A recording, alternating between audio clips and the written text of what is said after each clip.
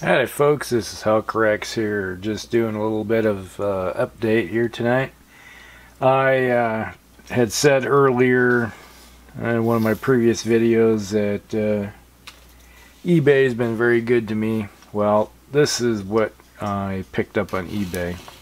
Uh, this was someone else's project that they'd started and it came in the mail and it was a little beat up is a I don't know if it was a miscast or something that um, or some of it was that they tried carving and doing something with it. I'm not sure exactly uh, what they were doing with it but you know it came and I assessed the situation and I looked at it and go well you know it's eligible.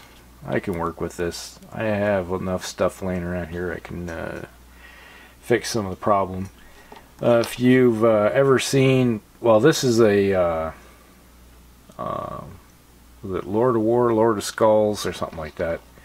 Uh, the chassis, the upper part here, which comes, you know, with the. Uh, if you ever seen it in uh, on the Games Workshop site, you know, you got the, the upper part here, which is if we can pull this off, which is this right here and it has like treads and a big giant set of tanks back here. And uh, where's your head? There's your head. Um, and that that's that all that. It has these these arms that go on here like that. And I'm not sure what they were planning on doing with it but uh, get in there. There we go. Uh, this arm was all chopped up here in, in a little bit so I was like, well, I could fix that.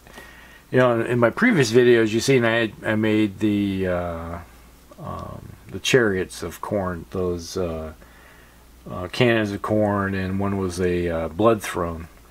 And this is part of the throne right here. That uh, I don't know if we can see this in the uh, one. Oh, maybe it won't focus. there we go this right here was all chopped up and this is part of the uh, blood throne.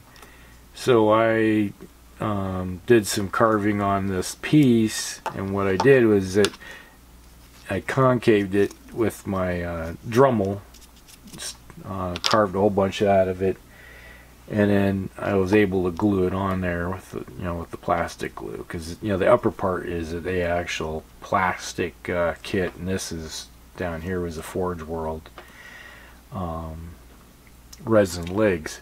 I probably haven't announced what this is. This is a Lord of War for uh, the Demon Army, the Kytan.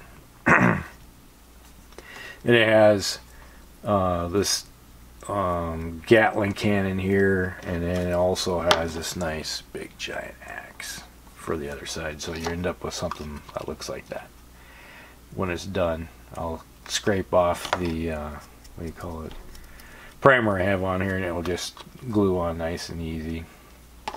But uh, yeah, that's what I got. yeah, throat. So yeah, I went through and I fixed all the pieces, you know, and I heated these up with some hot water and I just kind of spreaded them out so you know they're they, they'll hang off there on the, the shoulder pads and yeah so yeah. It looks kind of cool now.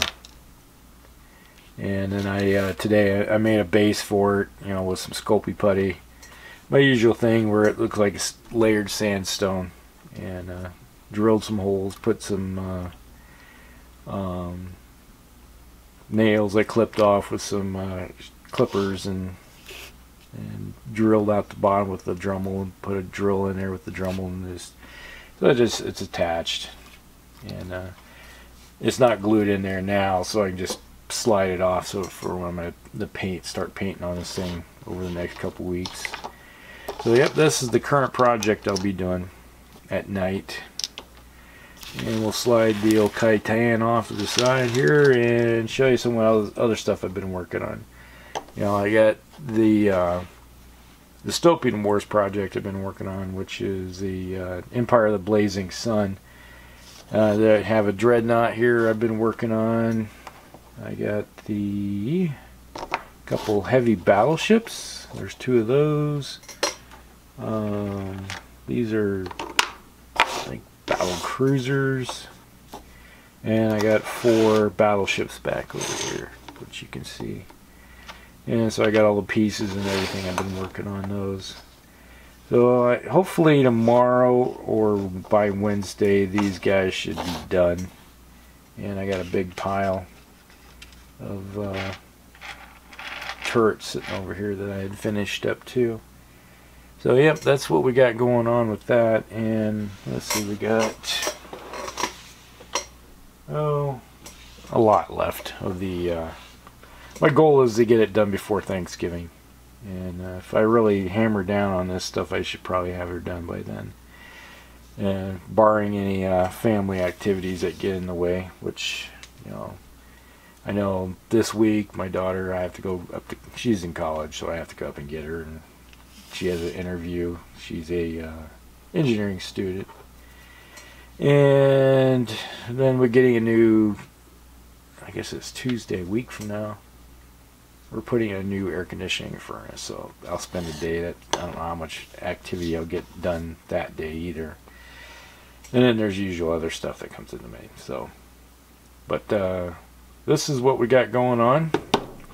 So if there's any questions you got or anything, this guy right here, he's going to be Khorne red. I'm going to do something similar to like I did with those uh, um, Khorne uh, blood crushers. So be a similar paint scheme with this guy. So be a lot of brass and red. And with them a little bit of maybe black or stuff mixed in with there. But uh, yeah, that's what we got going on. And uh, you guys have a good day and uh, get out there and rid the world of all your unpainted miniatures. Hey, just a question. Here we go. Forgot something. yeah, I've been showing this guy for a long time. Uh, just show the size. This is the Imperial Knight versus a Kytan. It just shows the difference in size. Kytan's a lot taller. It's about the same size, similar in size as a uh, Knight. I think the Cerastus Knight's a little bit taller. Probably about like that. But, uh, yep. That's enough. We'll talk to y'all later. Helk Rex out.